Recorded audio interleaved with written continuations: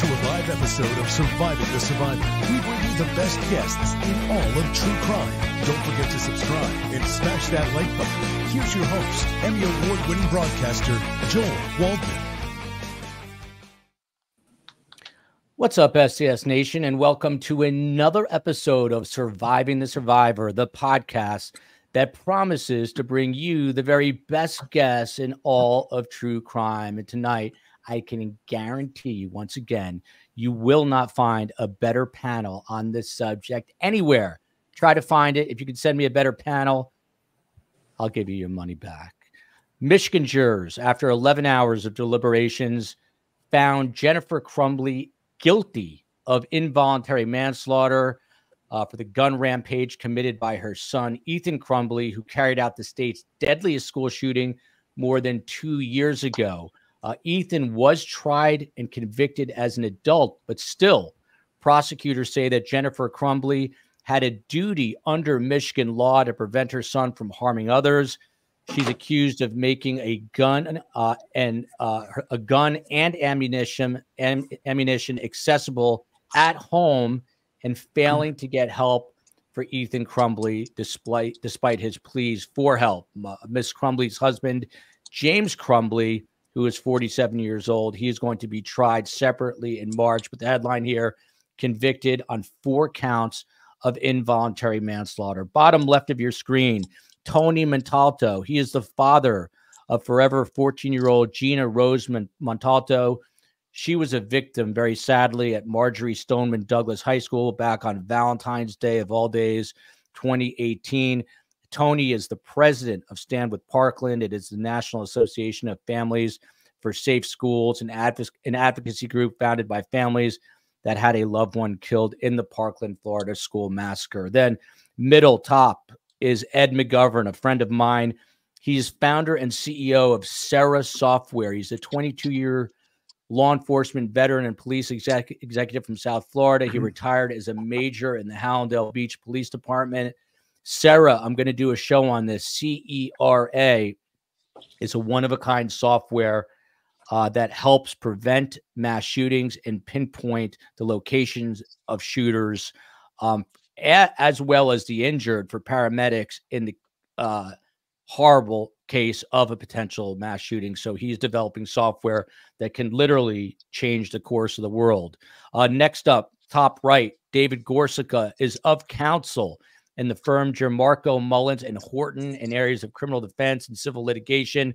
Uh, he's a graduate of Michigan State University and the Detroit College of Law, and he was a prosecutor in Oakland County the county where all this went down, uh, leading an office of more than 100 assistant prosecuting attorneys. So no one knows this area where this uh, case was tried better than David Gorcyca. And last but not least, of course, everyone knows Josh Ritter, named the 2015 Outstanding Prosecutor of the Year by the Association of Deputy District Attorneys, now part of the Eldabe Ritter Trial Lawyers Law Firm. And he hosts a podcast, True Crime Daily the sidebar. Check it out if you haven't checked it out already. When you have the best guests in true crime, sometimes it takes a little while to get through uh, all of the bios, but here we are. Um, Tony, uh, first and foremost, condolences on the loss of uh, your daughter. I know you're joining us uh, just for a short time. Um, your reaction to the guilty verdict today, uh, do you think it's a game changer? We hope that uh, it does uh, help show that there needs to be accountability. Um, I happen to be in in one of the House office buildings today with two other families: uh, Phil Schentrup, whose daughter Carmen was murdered in Parkland, as well as uh, Tom and Gina Hoyer, whose son Luke was murdered. And we were, you know, pleased to see the verdict.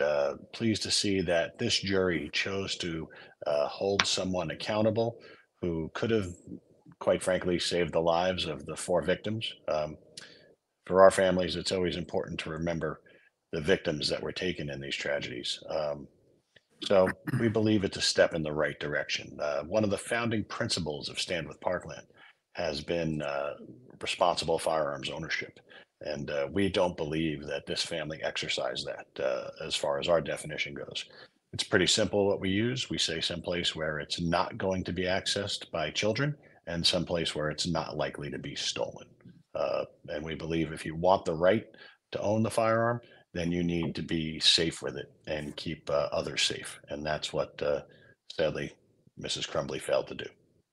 And that's exactly what happened in this case. And uh, here is uh, Tony's beloved daughter, uh, Gina Rose. Uh, look at that beautiful face, obviously taken from us way, way too soon by the hands of another mass shooter. So, um, you know, it's just devastating. And I've talked to Fred Guttenberg and um, many other uh, Parkland parents having reported down here, and uh, it never gets easy talking to the parents. Uh, and God forbid, uh, any one of us who are parents could potentially be in their shoes. Kudos to Ed McGovern for uh, at least trying to solve the problem with CERA Software. These are the victims of the shooting uh, in Oakland County. These are the victims of Ethan Crumbley. You see Hannah St. Juliana, Tate Meyer, Justin Schilling, Madison uh, Baldwin. Uh, Dave Gorcyca, this is a, a first of its kind uh, precedent setting case here. Were you surprised um, by the conviction across the board here by the jurors there in Oakland County, your former county? Not really. Uh, if you look at the totality of the circumstances, you have an individual, Ethan, was 15 years of age, was literally crying out for help from his parents.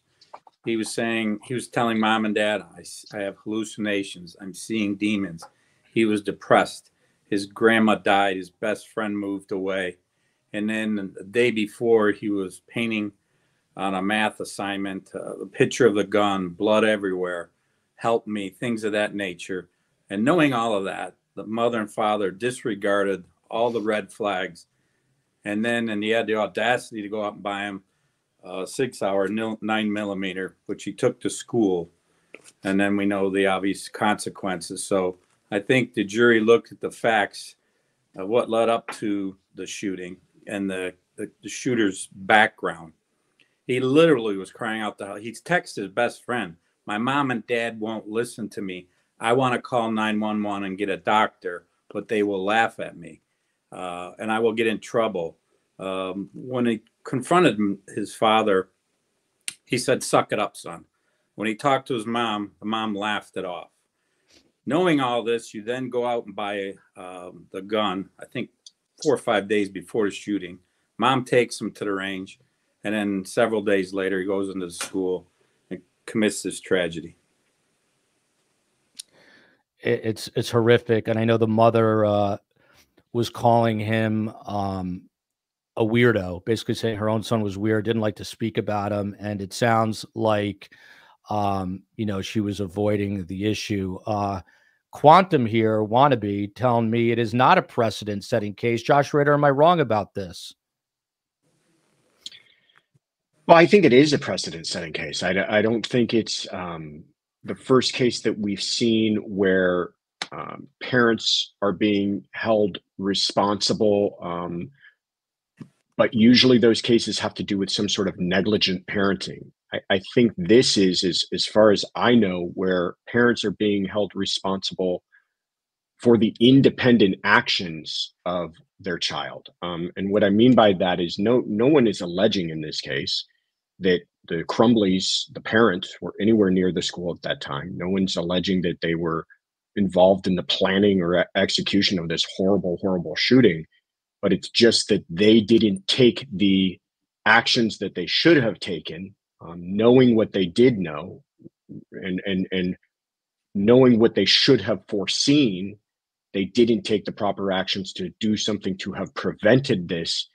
But where it where it's unique and where I believe it does make precedent is that it's saying that even though Ethan Crumbley independently took it upon himself to execute this shooting, they are being held responsible for the murders as involuntary manslaughter. They're being held responsible for the deaths because they could have done something to pre- prevent it. So I, I do think it's a remarkable case. I think the legal community is going to be, um, uh, you know, there's going to be reverberations from this for some time.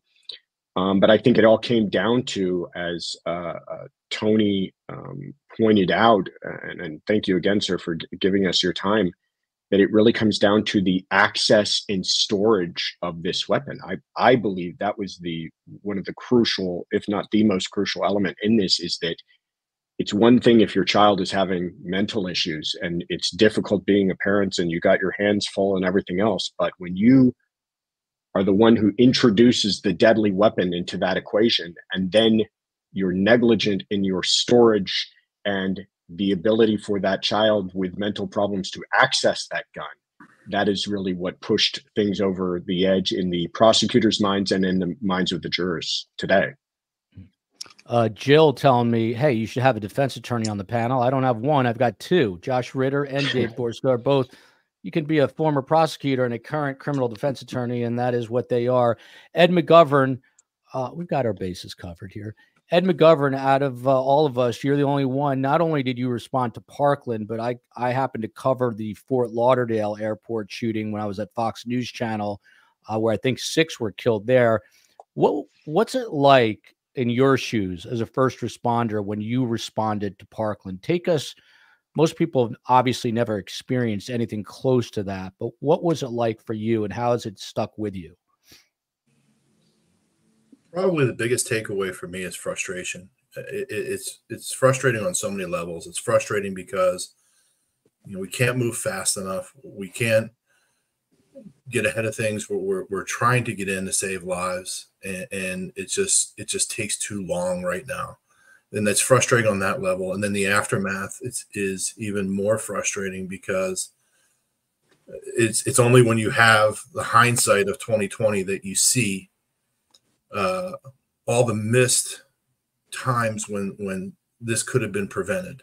You know, at the point where we're going, it's already past prevention, and now it's it's dealing with the issue at hand. But uh, and, and this is this is going to be a case that really highlights that uh, on, the prevention side when you see all the missed opportunities, especially um, with the shooter's mother now being convicted and seeing the messages, seeing the information. Uh, the biggest thing that stands out to me is when she was in this meeting, you know, before her and her husband were in this meeting with their son and the school right before the shooting, they had a key piece of information that nobody else knew, and that's their son had access to a gun you know, they, they knew it. Not only did they know it, they they let him have access to a gun.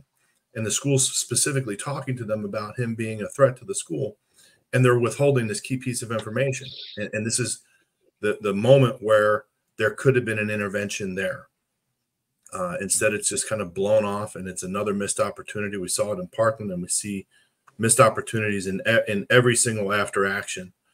Um, so the, it's probably the biggest takeaway. It's it's the frustration on all sides, seeing what could have happened and what you could have done, and and then also that frustration in in responding that you you just we're just not moving fast enough, and, and we need to do we need to do better. And by the way, uh, that is the company name on Ed's shirt, CERA. That is the software, and like I said, I'm going to do a show on it because what that software does is amazing. And what's even more amazing is that uh, schools don't want to pay for it and it is very affordable. It's not uh, priced at a point where school districts even small ones can't afford it but um, it's always about the almighty dollar and, and the bottom line. Uh, annie k this question uh, we'll send it to you tony. The nra and others say gun discipline begins at home that more stringent laws penalties aren't needed. We can't have it both ways. Parents are responsible for their minor children. Your thoughts uh, well, I said it before. The parents are responsible, uh, and we do need uh, people who own their firearms to be responsible with them, uh, which includes, uh, you know, safe storage, which includes being the uh, subject to, quite frankly, red flag laws, which we passed in Florida, sadly after the Parkland shooting, which have been used over twelve thousand times in just over five and a half years. Um, they've been used in our red counties, our blue counties, by law enforcement uh, and it helps save lives. Uh, we know that, and that's something that Florida did with a uh, Republican-controlled House, Republican-controlled Senate, and governorship, because these common sense and preventative things are are very important to use. Um, the stuff Ed brought out about the Crumbleys being in the school, uh, just that morning prior to the shooting, of course, brings a point of the school not use uh, a technique that is uh, is uh, that is put out by the U.S. Uh, Secret Service and the National Threat Assessment Center, which is a behavioral threat assessment. The behavioral threat assessment process requires a multidisciplinary team where school officials come together with mental health professionals as well as law enforcement. And the synergy of that team looks at a child who's exhibiting troubling behavior and then tries to connect that child with help before they resort to violence. The school clearly did not bring in the law enforcement part of that team. That was a missing link. Perhaps the law enforcement looks at uh, what the shooter was doing uh, sees him squirming and says, "We need to search your backpack or your locker, whichever it, it might have been there." But this this crucial opportunity that's to uh, use this uh, this tool, um, it, it just has to be corrected. It has to be something that we look for in this nation. Florida passed a law requiring behavioral threat assessment and management to be used in all our schools. As a matter of fact, just this year uh, in January, we rolled out a, a Florida specific model so uh, there was a lot of opportunity to save these children and prevent this tragedy, same way there was in Parkland. Um, one of the uh, further laws we changed in Florida was to require a district-wide mental health coordinator in each school district so that they look at a child who's exhibiting these troubling behaviors and now he's getting help from the school, but we make sure that he's on the path for the best possible outcome. Uh, sadly, during the trial shooter in Parkland, everyone possible just kept kicking the can down the road.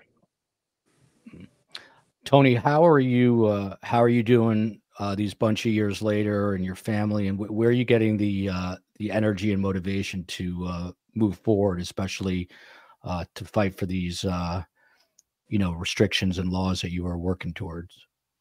Well, I think we're as unfortunate as we are to have had our children or our spouses taken from us in the Parkland tragedy, we do have a, a, a kinship now with the other families. And uh, that's why we formed Stand with Parkland, because we know that we have to change the status quo. We know that uh, our method of using the uh, our school safety triad uh, of securing the campus, better mental health screening and support programs, and finally, if you choose to own one, responsible firearms ownership, has allowed us to move forward with new laws and new policies. And each time we do that, it extends the legacy of my beautiful daughter, Gina, her schoolmates, and her teachers that were taken nearly six years ago. Um, you know, I speak to Manuel Oliver and Max Schachter and Fred Guttenberg. And uh, like I said, every time I talk to you guys, there's absolutely nothing uh, one can really say other than we got to try to fix this problem uh, in this country. And it seems like we are a long way from doing that. Uh, David Gorcyca from Anna Lissette, from what I read on this case, the school failed in a number of ways, including not checking the kid's backpack. He had a gun in his backpack. His parents were there that morning, or at least the mother was. Um, if so, they should be legally liable. Uh, what about the school? But also, uh, my question to you, David, more importantly, is he was tried as an adult, Ethan Crumbley. Um, how do you square, uh, and this is a photo of Ethan and his parents, how, how, from a legal perspective, how do you square the fact that he was tried as, as an adult and then also holding the parents um, complicit in his actions as a minor? Well, in Michigan, uh, there's certain delineated crimes, most of them capital crimes, murder being at the top, where you can try them as an adult, but the that's phase one, uh, the conviction phase. The second phase is the best interest, and that is where the judge determine what's in the best interest of the minor. Is it rehabilitation to the juvenile system, or is it incarceration and a punitive route? Um, in this case, based upon the facts and circumstances, the judge decided that he posed a dangerous threat moving uh, forward and was not likely to be rehabilitated and imposed a life sentence. But if I can back up um, to what Tony was saying, uh, the counselor did do a, a, threat assessment. I'm not sure if it's exactly what Tony was referring to. And the counselor, in just two days, and now mind you, the mother testified she was a helicopter mom in two days, the counselor said that he, in his opinion, that he had suicidal ideation was actually homicidal ideation. And he based that upon the day before the shooting in class, Ethan was looking at ammunition. And the parents were called to school the day before. The day of the shooting, he was looking at shooting videos and gun videos. They dragged him down to the office again, called the parents a second time in two days, and said, We feel that your child, Ethan, needs some mental health treatment right now. We want you to take him from the school right now. And they both said, We can't. We have to go back to the work, which was untrue.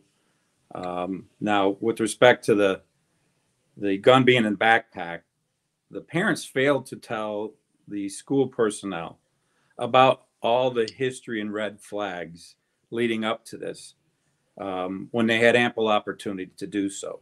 They also failed to tell the uh, counselor and the principal that he had a gun and had an, he had access to a gun. So either the school personnel or the parents should have grabbed the weapon or at least check the backpack. But the parents should not have should not have left him in school to perpetrate this crime. Uh, Tony's time is limited, so I'm going to bounce back to him, and then uh, the intricacies of this prosecution um, need some breaking down. So I'll turn to Josh and David uh, for that, and then there's there, we're not going to get to everything tonight, no way, no how, but uh, we'll do our best to get to as much as we can. Ash, uh, with a uh, super chat here. We need to treat mental illness, Tony, as seriously as physical illness. If a child suffers severe neglect leading to sickness, shouldn't uh, CPS, uh, Child Protective Services, step in legally? What do you think about the mental health aspect of these students and uh, them needing treatment, Tony? Well, certainly we need to treat mental health in this country much more seriously than we have. Uh, the good news is that following the pandemic, we have seen uh, a lot of people put a little more uh, effort and emphasis on that. Um, we saw and uh, we helped get the Bipartisan Safer Communities Act passed. Um, that uh, new law uh, created the or continued funding for the 988 suicide prevention hotline. It uh, also, we were told at a White House meeting last summer that is going to provide money for 14,000 more mental health counselors in our nation's schools. Um, that's a big number. That's uh, uh, certainly a number that the pipeline probably can't fill right now. But uh, it, it's important that we have recognized this and that we are seeing these efforts get in to so we can get people the help they need before they resort to violence. Um, you know, I'll just say one thing. I, I, saw you put up the, the picture of the shooter and his name, and we, we keep saying his name. And uh, hmm. for the victims of a school shooting like this, uh, we believe that there should be no notoriety for the perpetrators of these crimes. So we always ask uh, our media partners that they uh, use the name as little as possible and certainly try and limit uh, the showing of pictures. We understand when you're telling a story, you have to use it sometimes, but uh, please, we encourage everybody who reports on these terrible, terrible tragedies to not give these mass murderers the, notor- the notoriety which they crave. Uh, additionally, the uh, National Threat Assessment Center in their Protecting America Schools report that came out in 2019 reported that uh, I believe it was more than two thirds of school shooters do have suicidal ideation. So that is a warning sign that he is a danger, and not only to himself, but to others. Um, we need to look at these things uh, very seriously. Um, Stand with Parkland uh, on our uh, standwithparkland.org on our resources page we have information about a program called the Columbia Protocol, which came out of Columbia University. Um, it's available as an app now on both uh, iPhones and Androids. And um, it's six simple questions that if somebody sees somebody who's having a bad day, they could just ask those questions and the app will guide you through your actions depending on the answers to those six questions. Um, it's really important that we do take a step back and look at one another and have a little more kindness and compassion in this world, which is something that my beautiful daughter Gina exhibited every day of her life. But we need everyone to start taking a look at that and seeing how we could help each other. Mm-hmm. Uh, well said. And uh, I agree with you 100% about the images and the notoriety. Uh, sadly, when there's a story breaking, a lot of times uh, it's hard to avoid it, but I do agree with you. Um, Josh Ritter, uh, to you on this question, David kind of touched on it, but from your perspective, how much responsibility does the school have? I'm a high school teacher and always check backpacks. It's sad that we're at that stage or state in this country. Uh, the administration here seem to be clueless. Uh, how much um, liability or responsibility should schools have in all this? I think that's an excellent question. And I think it's a question that uh, was not answered by the verdict today. I don't think that uh, a verdict holding um, uh, Jennifer Crumbley responsible for involuntary manslaughter means that there's no liability or responsibility that falls uh, at the feet of the school as well. And that was something that was disturbing that came out over the course of the trial is that you did find out not only all the um, red flags that the parents were aware of and opportunities that they had to intervene and take steps to have perhaps prevented this, but all of the red flags and disturbing information that the school was aware of and opportunities that they had to uh, intervene and do something about it. And I think it was Ed that pointed out that it's it's it's chilling when you think about they were all sitting in the room when a, a decision could have been made to search his backpack or do something that very day and it wasn't done and i think realizing that that opportunity to prevent this tragedy was missed is what infuriated prosecutors and likely uh, played a role in the minds of the jurors. But it doesn't just lie entirely at the feet of the parents, that the school as well could have done something as simple as if they felt that the parents weren't paying enough attention, they felt that that 11 minute meeting wasn't long enough to, to, to do something uh, important, or they felt that they should have taken him home with them. That doesn't mean the school couldn't have also taken it upon themselves to search him, to put him somewhere where they felt like he could have had a little more supervision. A lot of other things could have been done. And I think that that is a question that certainly I, I imagine lawyers are going to be looking into and perhaps prosecutors. Uh, Ed, this question's in your wheelhouse from misdemeanor OG. And again, there's so many tentacles to the story and it's so far reaching. Um, we'll come back to it for sure because we'll never get through it all today. But uh, misdemeanor, who's in Europe, says never arm teachers, please. In emergency, in an emergency, I would follow the kids to safety, uh, not the teachers. What about arming um, teachers? There was talk of doing that at one point. Uh, what do you think of, of that uh, idea, Ed? I, I, don't agree with it. Um, I think many people that propose that are coming from a position of they themselves how they would act in a situation but that's not that's teachers aren't signing up for this and and it sounds like it's it's a very easy fix but it's not you know if we if we don't have enough training for cops to handle these types of situations how, how are we going to train teachers to do this? This is not their job. What i would suggest is and something tony pointed out is the partnership with law enforcement and schools is huge and and we don't see enough of it. In fact it's scary that you know over the past few years we've seen schools pushing to have police out of schools. And, and i think this partnership is so important and this is this case is a great example if an officer was in on this meeting that day the, these are the questions that officer would have been asking I, I can look at it from my perspective as an officer the first question I would ask is, does that kid have access to a firearm? And would have never let let him walk out without checking him, checking his backpack, checking his person, checking his locker. That would have been bread and butter for cops to do, you know, in that situation, to ask those types of questions. Does he have access to firearms? He was looking up ammunition, what's going on with this, and start pushing those questions, which may have led to a different outcome. And, and that's what's essential for this, you know, having a partnership with law enforcement and with schools I think is is is key in this, uh, and it's why, and as Tony mentioned, is is even part of how we want to respond to these types of threats. To have law enforcement as part of it. I could tell uh, just uh, looking at the the chat that collectively, uh, almost across the board, no one believes that teachers, at least in this chat, should be armed. Wesley John Holmes making the point I made. He is an Aussie living in Tokyo What have we become if we have to ask teachers to check a kid's backpack for a nine millimeter handgun? Just think about that for a moment. It's crazy. Um, this is school. Uh, we're all of a comp- comparable generation. I, I, went to high school in the 80s. There was a fight occasionally, never something that we had to worry about. And then since Columbine in 99, it seems like uh, there was a, a, tectonic shift in uh, in all that, and it has gotten worse over time, not better. Uh, Lindsay Shea says Tony's doing fantastic work for our schools and country.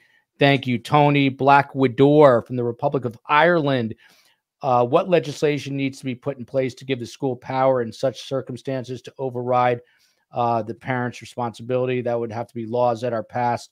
Um, Tony, do you have another two minutes? Sure. Okay. I'm just going to play from today uh, the verdict, if I can find it here. Uh, this is the verdict. Let's watch it together. We'll get Tony's reaction, then we'll let him go, and the rest of the uh, panelists' reaction. Here we go. Ladies and gentlemen, I've been informed that you have a verdict, is that correct? That is correct. Um, Are you the correct person? I am. Could you please uh, read your verdict? Um, individually? Sure. Okay. Um, on count one of involuntary manslaughter as to Madisyn Baldwin, we find the defendant guilty of involuntary manslaughter. On count two of involuntary manslaughter in regards to Tate Myre, we find the defendant guilty of involuntary manslaughter. On count three, as to involuntary manslaughter regarding Hannah Hannah St. Juliana, we find the defendant guilty of involuntary manslaughter. And in count four of involuntary manslaughter against Justin Shilling, we find the defendant guilty of involuntary manslaughter. Thank you, Forewoman. You can be seated. And I'm going to ask Ms. Williams the jury. Jury I'm going to mute the rest. We can watch it, but uh, Tony, again, I'm sure you saw it earlier. Um, whatever anyone else says, um, I believe that this is a precedent setting case. Uh, you just saw four counts of involuntary manslaughter. This mother is now going to face prison time. Um, just your reaction to watching this now. Well, sadly, and all too often, we see firearms mishandled and not stored properly, and, and it results in the death of, uh, of many, many children. Uh, firearms are the leading cause America right now, which is a sad statement. And a lot of that is due to uh, parents not being responsible firearms owners, not storing it someplace where it's not accessible by children, not uh, keeping it someplace where it's not going to be stolen and then it gets taken and used in a, in a, in a crime.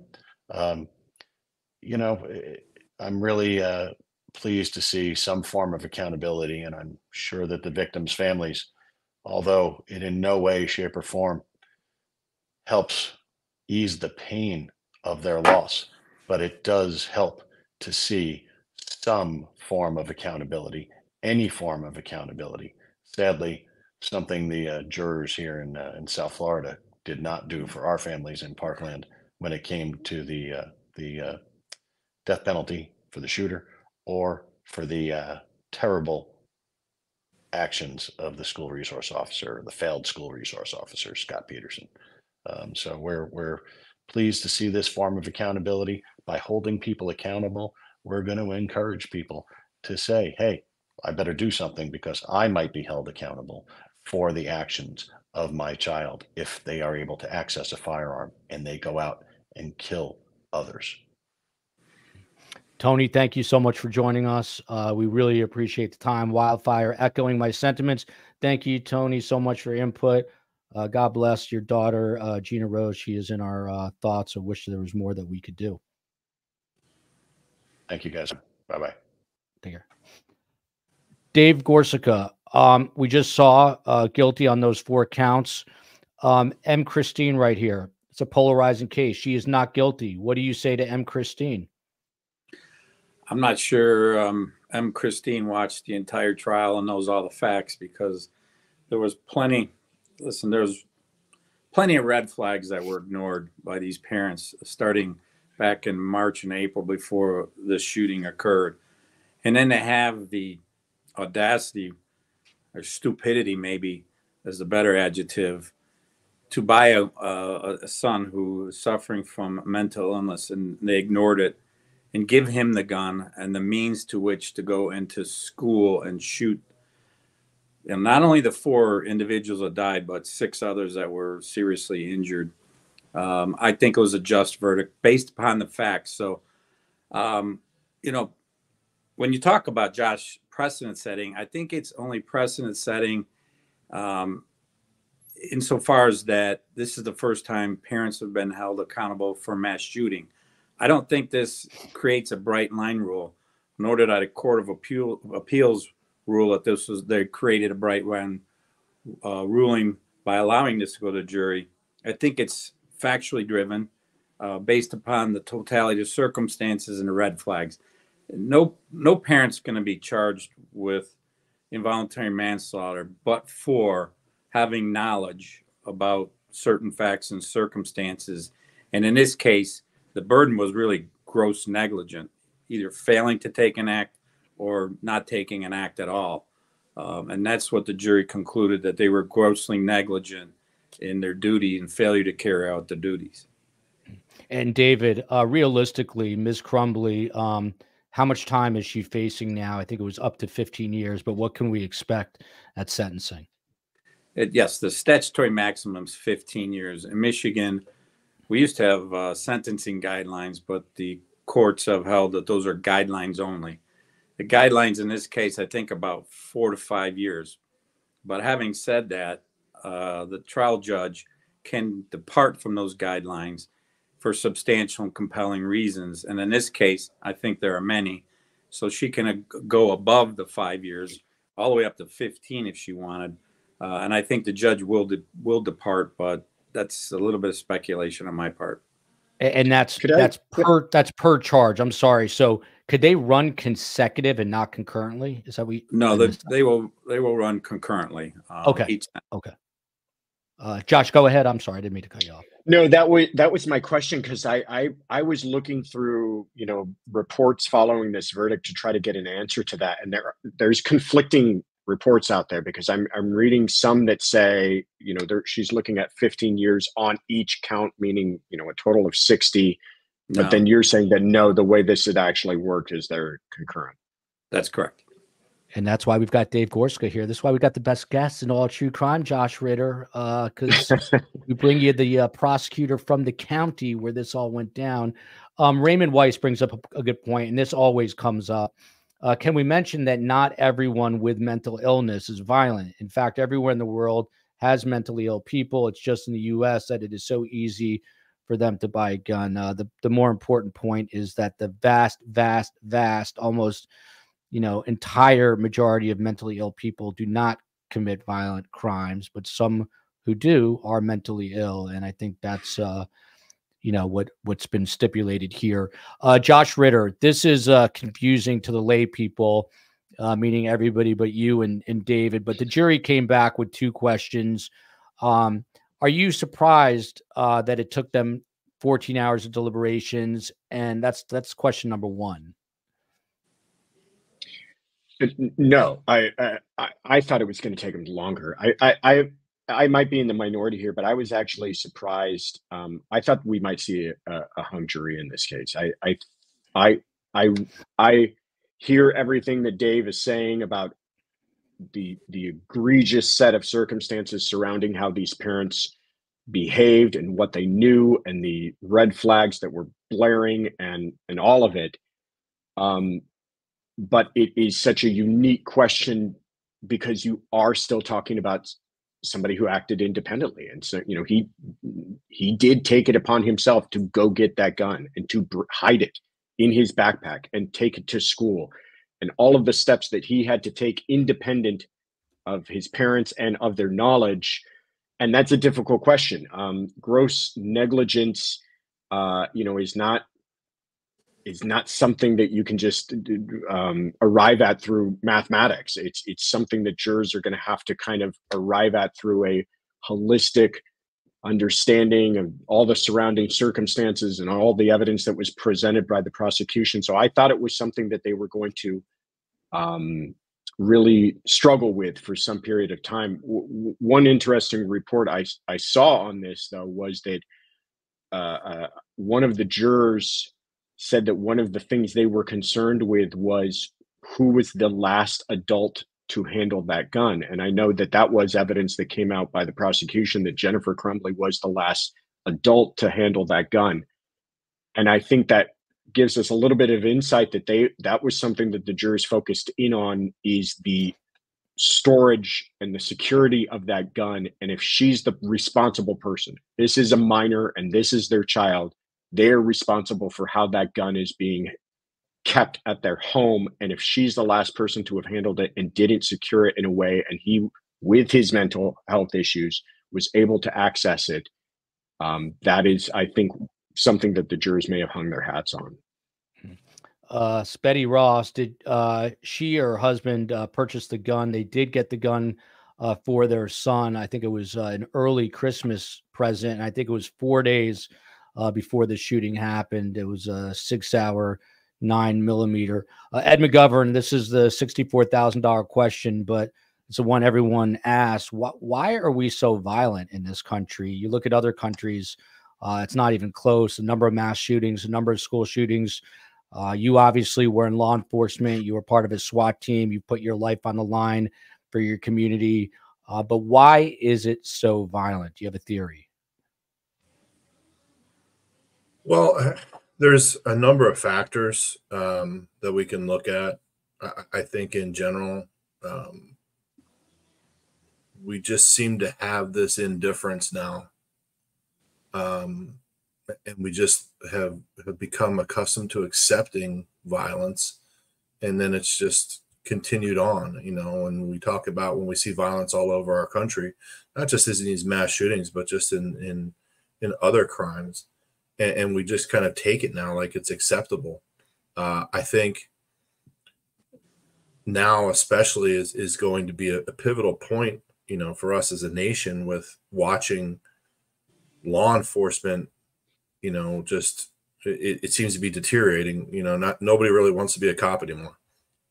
Um, and, and I, I, think I brought this up. You know, I, I think they're making the job so impossible that it's just nobody's going to want to do it and we've seen the staffing shortages everywhere and that's that's really what is going to cause a lot more violent uprisings. We've seen it in places where defund the police have happened and you just see crime skyrocket because we are this line between good people and good citizens and, and the violent you know criminals that are out there.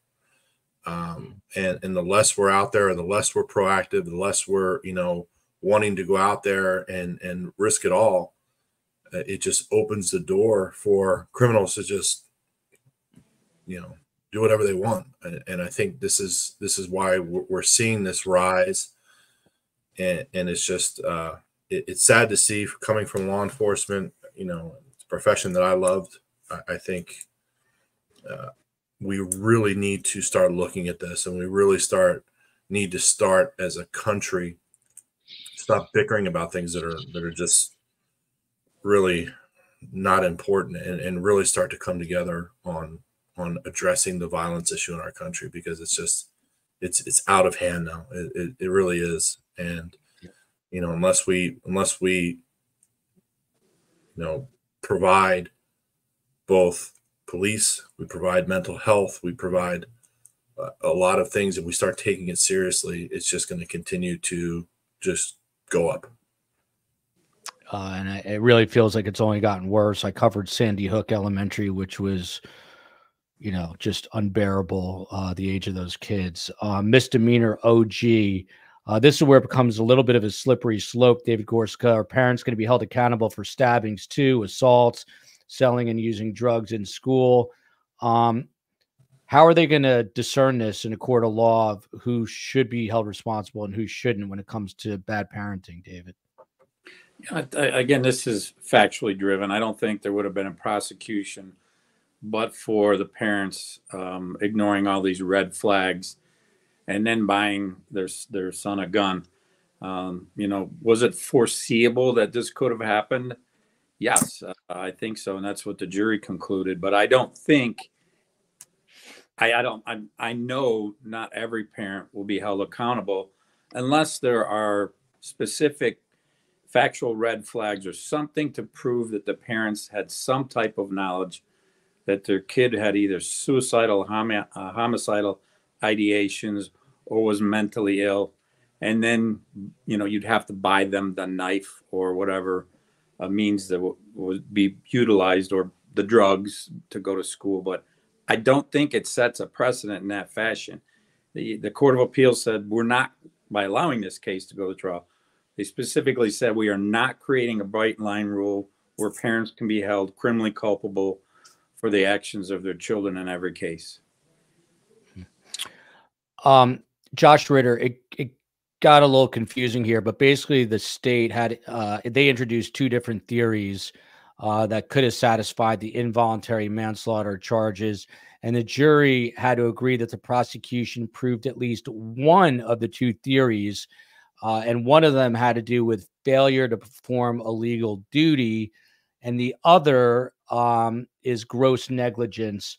David Gorcyca talked about this a little bit off the top. Can you break that down a little bit just to explain in layman's terms what that really means?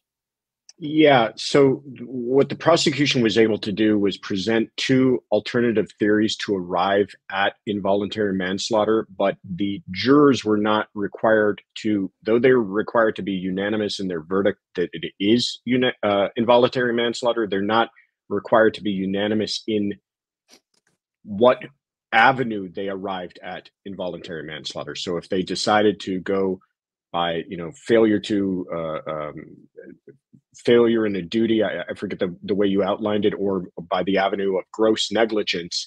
Some jurors could have felt that it was gross negligence. Others could have felt that it was a failure in a duty that they owed uh, to those um, those those victims, um, and they didn't have to agree on that. As long as they both agree, as long as all twelve of them agreed that they arrived at that involuntary manslaughter at the end of their deliberations. Um, and that's what they did here. And so that's why, um, uh, you know, it, did you want me to go into kind of what the idea of gross negligence is? Sure. If you, yeah. Yeah. It, it, it, I mean, basically, negligence is a term that's used throughout the law. It's used even in, in the civil world. We, we oftentimes see it there. And it, negligence has to do with the idea that you have some sort of responsibility towards others in some sort of way and that you are you are failing to reach that duty. You you know we see it a lot of times. We talk about um, you know uh, if you don't have proper safety precautions at, at, at, in the way that your your home is set up you know you don't have a banister on your staircase or something like that uh, they, that that could be viewed as negligence for the safety of others. And if somebody falls and hurts themselves that you might be held responsible. You're negligent for the way that you um, uh, the duty that you had to protect others. In criminal negligence, though, we go into this idea of gross negligence, and it involves the idea of um, willfully disregarding things, and that's what this case came down to. Really, is the the idea of one um, foreseeability w- was it reasonably foreseeable to these parents, given all the circumstances, given all the evidence, given all the red flags, that something like this could have happened? And if so, did they fail to, did they willfully ignore that in a, in a gross manner, in a way that was negligent beyond simple negligence that we should hold them criminally responsible? And um, the prosecution put on a lot of evidence that that seemed to uh, show that not only you know were the parents um, aware of the condition of their their child, but the way that they stored that gun, the, the, I think that the mere purchasing of the gun is probably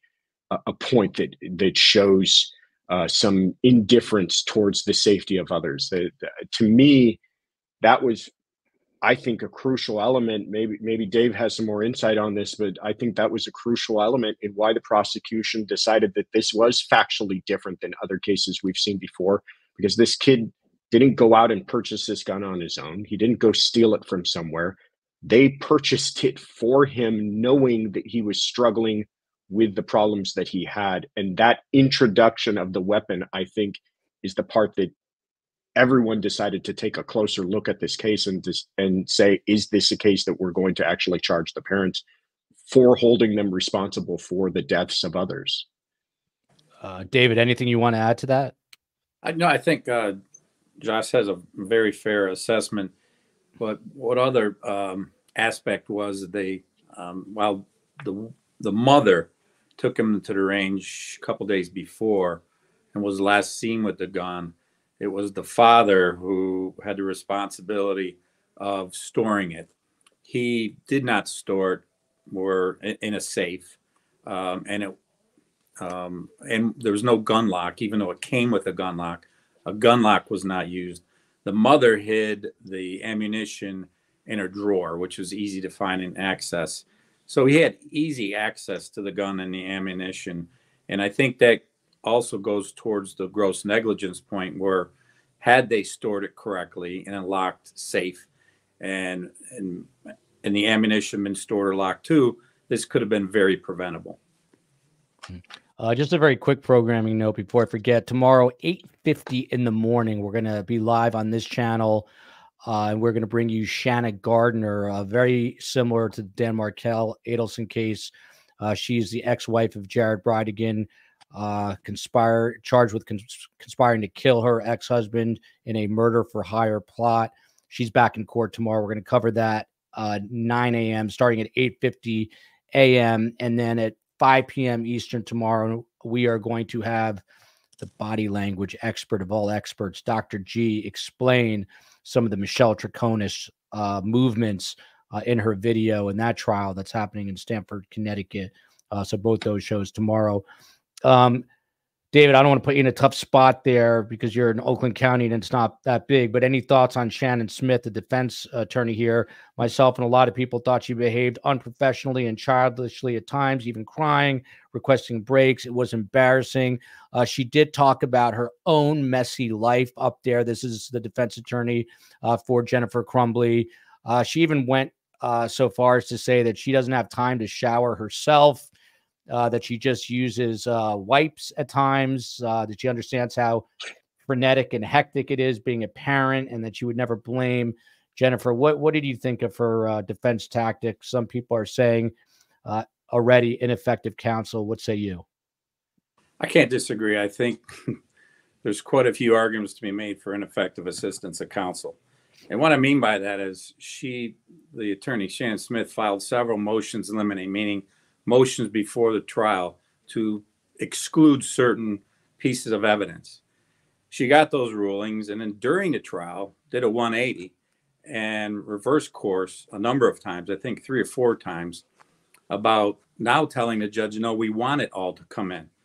Um, I think there was 3,000 Facebook posts she tried to keep out. Those all came in. More importantly, she tried to keep the affair out and then said, no, judge, we want it in. And then we learned on cross examination that they were using some app to find, you know, threesomes. Um, I think that was all very damaging when when she trift, uh, shifted trial tactics in the middle of the trial. Um, I think that was dangerous course for her. Um, and also, if any of you watched it, I think she said, "I'm sorry, I'm sorry" a thousand times. When you're advocating for your client, you don't want to apologize for anything you want to be a strong, zealous advocate up there for your client. I think it came off very clumsy, and I agree at times very unprofessional.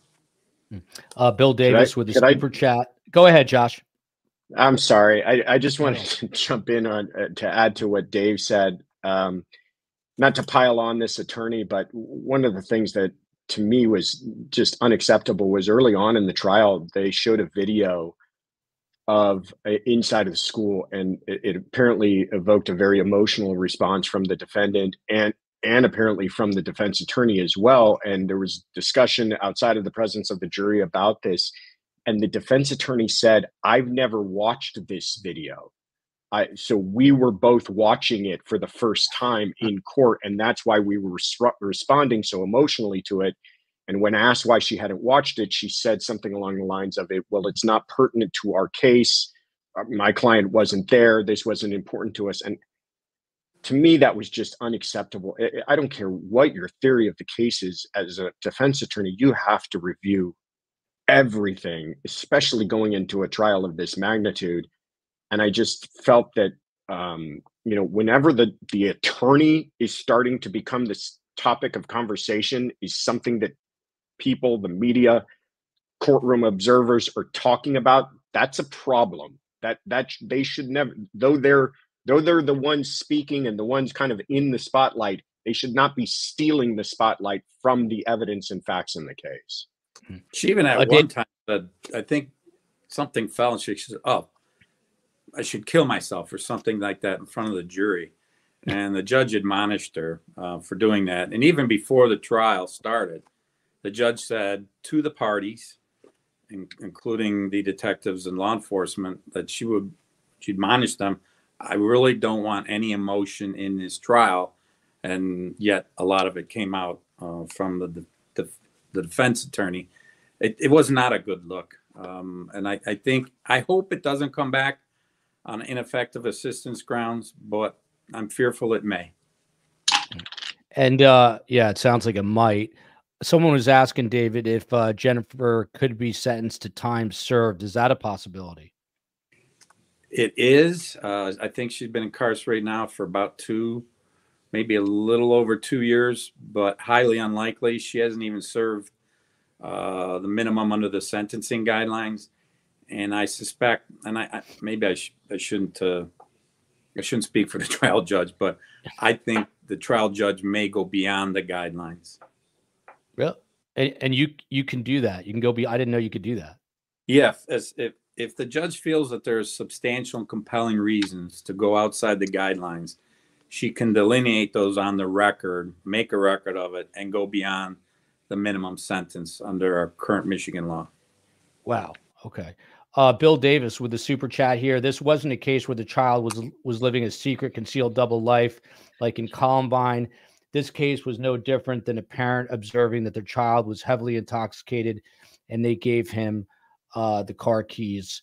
Um, Ed, talk to us a little bit. Um, we'll, we'll do a full show on this, but tell us a little bit about your software and uh, why it might help in the next in the case of another or i should say the next school shooting because i think it's inevitable that there will be another one sadly Sadly, yes, there will be, and and, and really quick to what Bill Davis put up there, he's right. You know, and, and not, not only is it that, but we see how many of these shootings happen that, you know, and it just follows this pattern. You know, we, we, we can't be looking at this and saying, "Oh, I, I didn't expect this to happen." When you when you we've been shown this pattern over and over again. Uh, as far as as the software, we're we're trying to save time every second that we are on a scene that we could save saves lives you know uh, it's the faster we can get to a shooter the faster we can instigate a confrontation with that shooter and neutralize that threat the less casualties we're going to have and the casualty casualties we do have we'll be able to save because we're getting to them faster um, that was that was the goal when uh, i started CERA which i actually started before Marjory Stoneman Douglas. Was after the Fort Lauderdale airport shooting. Uh, and then after MSD, I just looked for the opportunity to retire to to do this full time. But and that's the key, you know. And and in many of my talks, people are very surprised to hear that 90% of the police departments in this country are less than 50 officers. And those are the ones that are facing a lot of these events, and they're usually priced out of technology, they're priced out of training, they're priced out of any type of help for a mutual aid event that they mostly need, where they need a multi-agency response. And that's what we look to to change with CERA. We created this for those types of departments.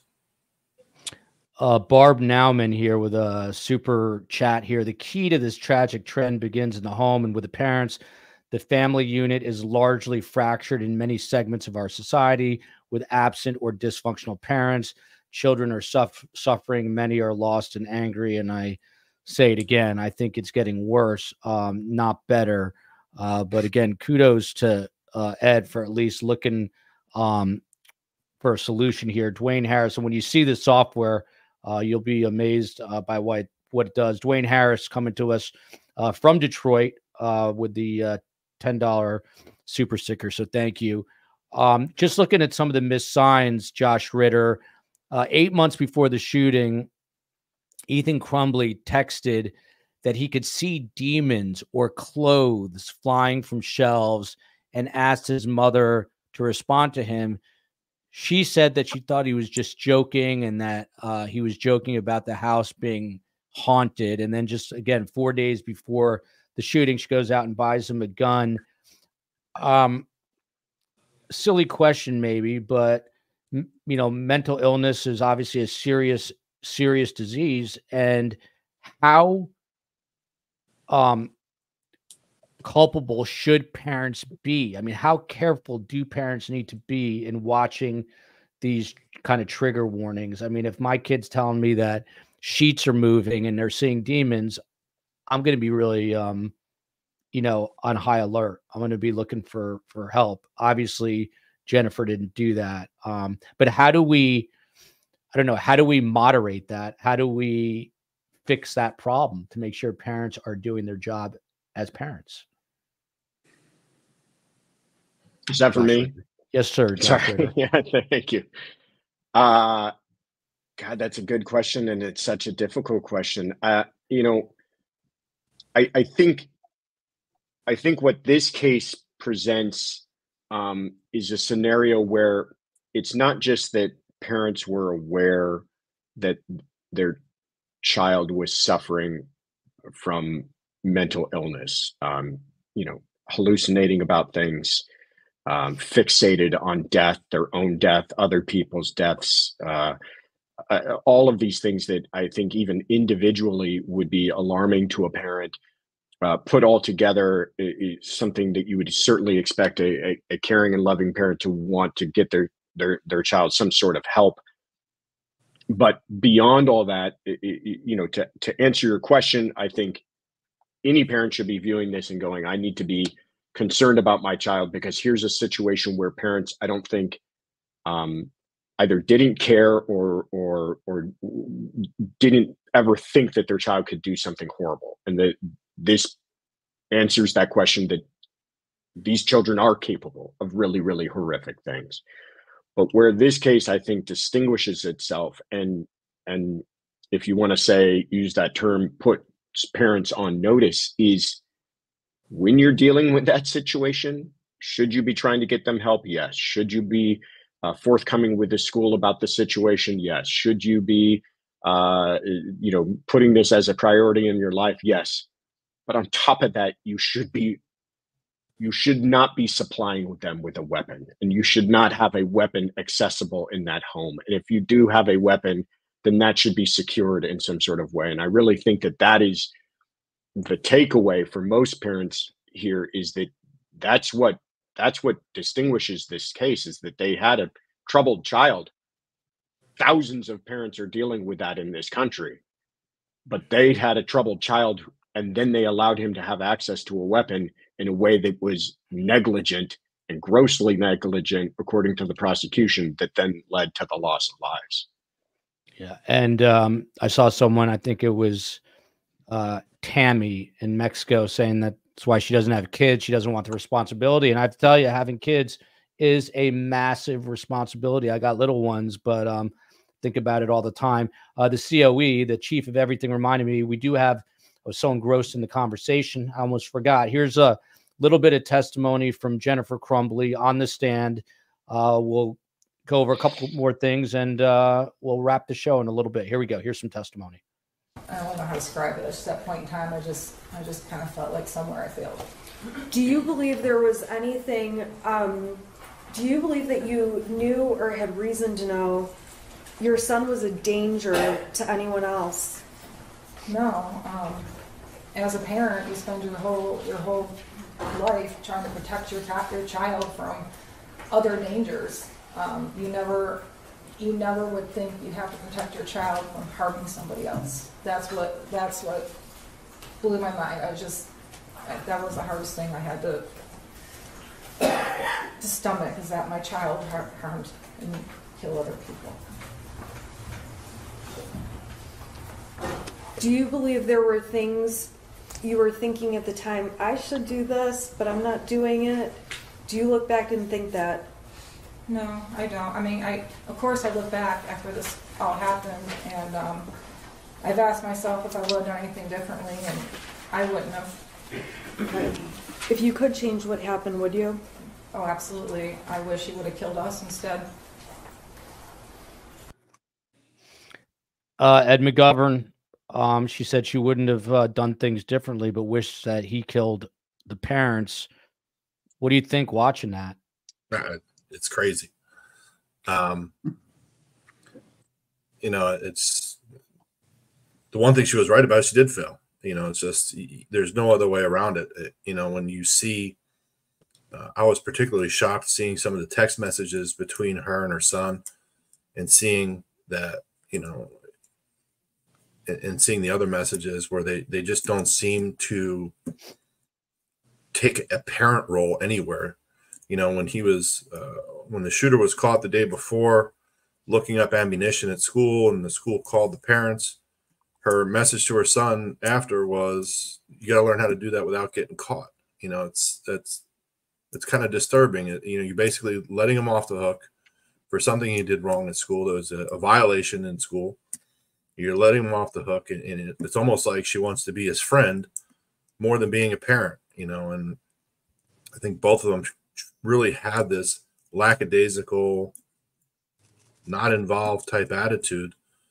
Um, so they are responsible. We all are as parents. We understand these these rules. No different than if we, you know, and I think one of your your followers mentioned it. You know, you hand your your keys to your kid, to, you know, to drive a car. You, anything you're doing, you're responsible for your kid. You know, and, if all of this this kid's messages uh, and and what he said to his parents and and what he's doing in school and what he's drawing are not indicators what not you have a school telling you that there's something wrong here everything Ed, what if- everyone's telling you something's wrong and they're just ignoring it What we talked about arming teachers, and it seemed to be uh, an idea no one liked. But what about um, magnetometers or metal detectors in schools? listen it's unfortunate and, and a lot of times and this kind of also goes back to a lot of schools not wanting law enforcement in their schools either is they they don't want this type of an environment you know but eh, look it's a reality now as much as that, that's an inconvenience as much as it may not make a kid feel great or the parents don't feel great you know nothing feels worse than going through this. Um, a- and we need to we need to get away from that. Like we need to stop coddling everybody and and pretending like it's just not going to happen. You know you have you know everyone people complain about having you know drills for for an active shooter. They complain about having metal detectors. They complain about having police and they think if it just if it's not there it's not going to happen and that's a big big mistake. Um, there's plenty of ways to do this uh, that are sensible that make sense uh, you know and and, weigh freedoms and, and liberties and and how a kid's going to feel up against safety. You know we we need to take this seriously we can't see this happen over and over and over again and just do nothing it, it's infuriating to watch Yeah. Um, listener says, as a society, we glorify guns and sometimes stigma, uh, stigmatize mental health, and we wonder why we keep having school shootings. Followed by Jess in California.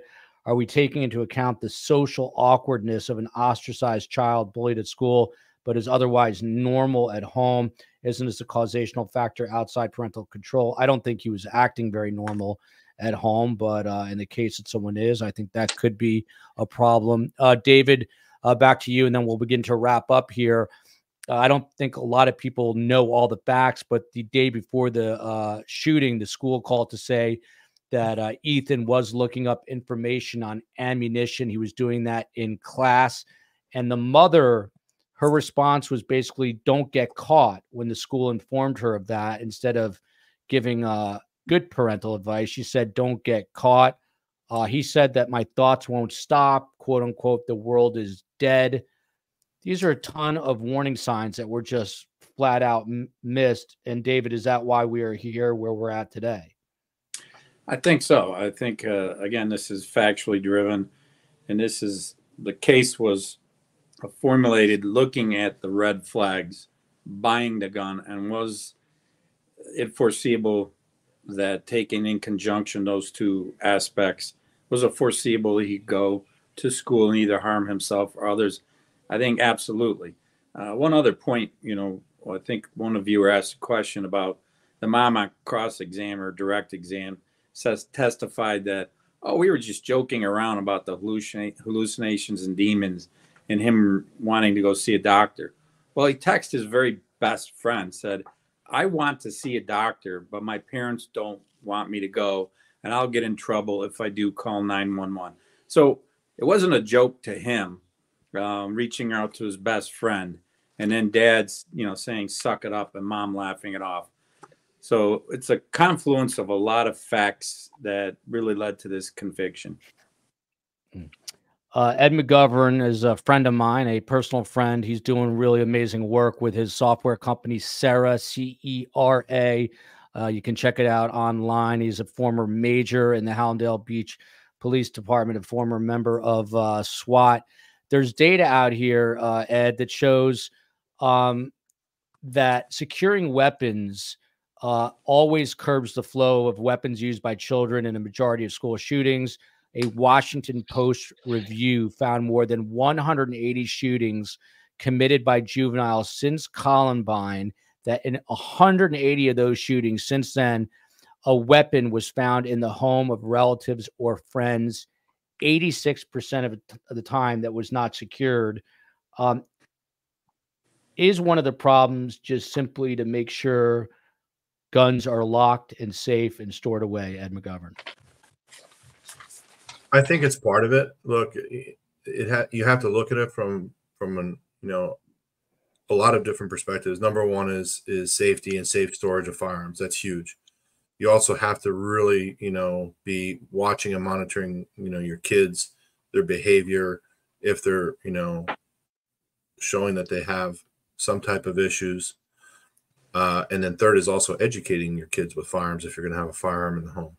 Uh, you know, listen, I, I I spent, you know, over two decades in law enforcement. I started in law enforcement before I even had kids. So my kids, from the time they were born, were raised in a home where there's guns because I was in law enforcement. And it's it's a constant, you know, state of vigilance uh, as a parent, you know, both in educating your kids over the dangers uh, and what to do if they see a firearm, what they what to do if they see somebody else with a firearm, uh, keeping your firearms safely stored and and then also monitoring behavior of, of your kids. Um, those are the three things that are needed but yeah i mean when you see you know this is just a flagrant violation with the access to a firearm um, yeah it, it's a big part you know you, we, we can't get away from the fact that you know it's just the, the free free access to a kid um, is is just you know it just fast tracks these types of incidents. Uh, Tony Montal, uh, Montalto joined us earlier on. He is uh, the father of uh, forever 14 year old Gina Rose uh, Montalto, who was a victim at Marjory Stoneman Douglas. Uh, this is a photo of his daughter who will never be with him again because of mass shootings. Tony is the president of Stand with Parkland, an organization that is doing phenomenal work. Josh Ritter, um, prosecutor of the year in 2015, now part of the El Dabe Ritter trial lawyers firm and the host of True Crime Daily, the sidebar. Josh Ritter, in your opinion, uh, does this change the playing field moving forward when it comes to parents' responsibility in school shootings? Um, I think it's I think it's certainly a, a, a, warning signal of that. I think it's I think it's a I think that it's a conversation that's being had uh, about that across the country. I, I, that's why I think it is important for us to have these types of discussions because the more we have them, the more that we're realizing that there there is not a one size fits all answer to solving this epidemic of of shootings, and that there's a lot of different things that we need to take a look at. We need to take a look at um, you know the the safe storage and and handling of weapons. We need to take a look at mental health. We need to take a look at parenting and that that you know we we we we seem to uh, unfortunately uh, politically uh, retreat to our respective camps and corners when these types of things happen and people go back to the same uh, kind of arguments that they've made in the past about what needs to be done but a lot of things need to be done, and uh, the continuing of that discussion, including um, the parents' role, I think is important. And so I think more than anything, that's what this case stands for: is that eh, hey, by the way, you do have a role. It's very important, and if you neglect that to the point of criminality, you will be held responsible for it. Uh, Dave Gorcyca is a former uh, prosecutor in Oakland County and now a criminal defense attorney.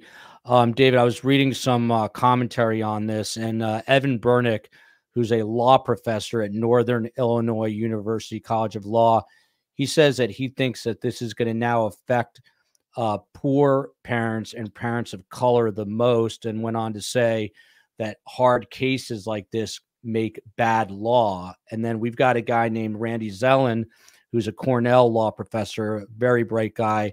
And he says that the law is not supposed to be emotional, it should be neutral and detached.